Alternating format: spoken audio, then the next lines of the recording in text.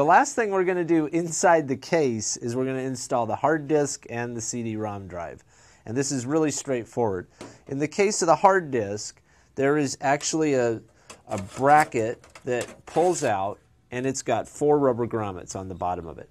And those rubber grommets line up with four holes on the bottom of the hard disk drive.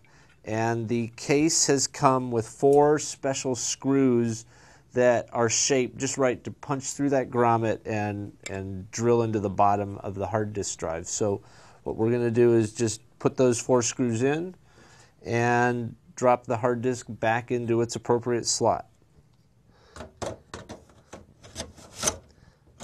Snap, and it's in. Now, there's a set of jumpers on the back that you have to set. Uh, we've taken care of that. You have to supply power to this drive. Any of the power cords that are available coming off the power supply, they all are the same, and if they fit in the hole, then it's good to go. And we need a cable. Now, the case came with a cable, the hard disk came with a cable. On one side of the cable, there's a red stripe, and that marks pin 1. When you look on the motherboard, there's going to be a marker for pin 1 as well. So you just plug it into one of the available uh, IDE connectors, lining the red stripe up with pin 1, and then uh, insert it on the back of the drive, and there's only one way it can go on the back of the drive.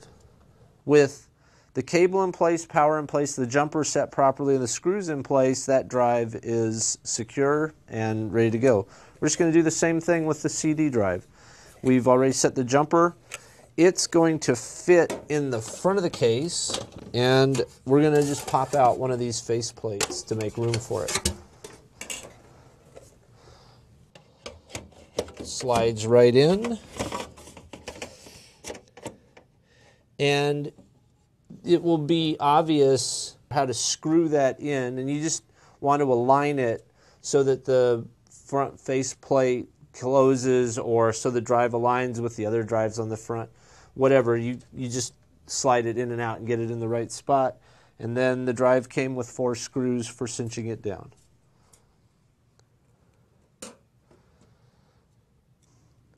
All right, so once again, we're going to find a, an available power connector, plug it right in. We're going to take the cable that came with the drive and making sure to put the red stripe in pin 1, just push it into the motherboard.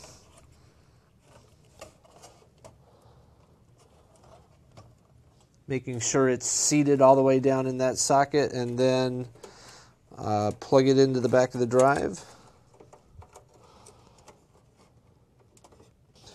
And there's one extra thing you can do with the CD drive. It'll come with a little special audio cable and there's a place for it to plug in in the back of the drive, an obvious place for it to plug into the motherboard, and you just hook that up real quick.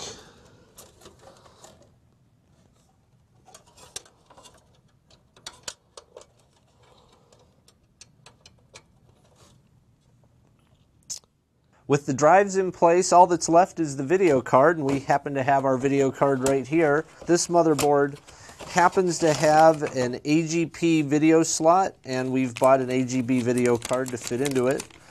There's only one video slot on a motherboard, so you either look in the manual or just look at the motherboard and find that slot, and then line the card up on both ends and push it into place.